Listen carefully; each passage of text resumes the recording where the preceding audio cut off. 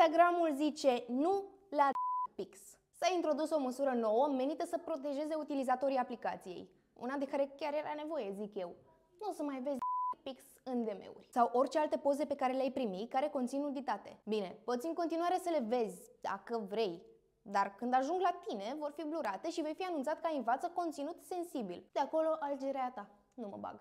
Ah, și cel care trimite va primi un mesaj de avertizare. Poate așa se gândesc de două ori masculii care aleg să facă surprize de astea nedorite. Pe lângă asta, Instagramul e pornit pe protejarea minorilor și chiar era cazul, având în vedere la câte sunt expuși pe toate platformele. Așadar, se lucrează intens pentru ca minorii să nu mai poată fi contactați de utilizatori care sunt potențiale scroci sau prădători, nu mai zic de care, că v-ați prins voi, sau de cei care ar putea convinge minorii să trimită poze explicite cu ei, care apoi să fie folosite pentru șantaj de orice formă. Ideea cu testele astea ar fi că, pur și simplu, oamenii nepotriviți nu vor mai putea contacta minorii și punct. Dar în subiectul ăsta o să mai intrăm când o să se și implementeze măsurile astea. Momentan, am scăpat de pix. Gata, nu mai bine. Mă duc să dau un scroll pe Insta.